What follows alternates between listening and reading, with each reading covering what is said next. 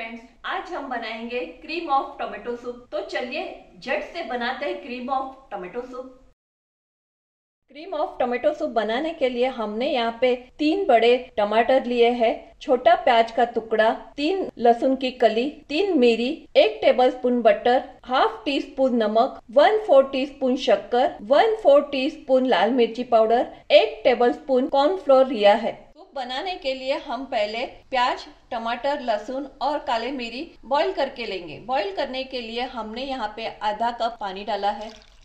इसे हम कुकर में रखेंगे। बाउल को कुकर में रख के कुकर की तीन सीटी बजने देंगे और 10 मिनट कुकर ठंडा होने देंगे। कुकर ठंडा होने के बाद बाउल को हमने कुकर में से बाहर निकाला है। अब हम इसे 10 मिनट ठंडा होने देंगे। 10 मिनट हो चुकी है। अब हम इसे मिक्सर में पीस लेंगे। इसकी प्यूरी बना के लेंगे। प्यूरी हमारी पीस के तैयार है। इसे अब हम छान लेंगे।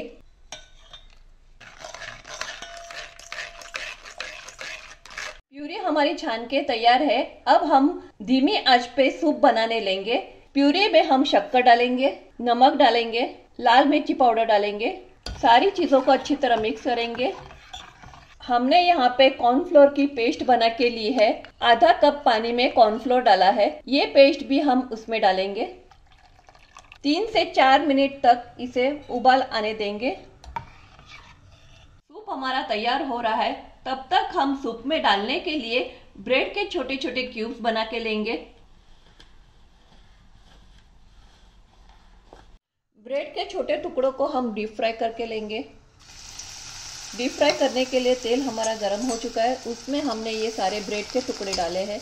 इसे गोल्डन ब्राउन होने तक सौते करेंगे। सूप में डालने के लिए ब्रेड हमारे फ्राई करके तैयार है। सूप हमारा बनके तैयार है। ऊपर से हम बटर डालेंगे और सर्विंग बाउल में सर्व करेंगे।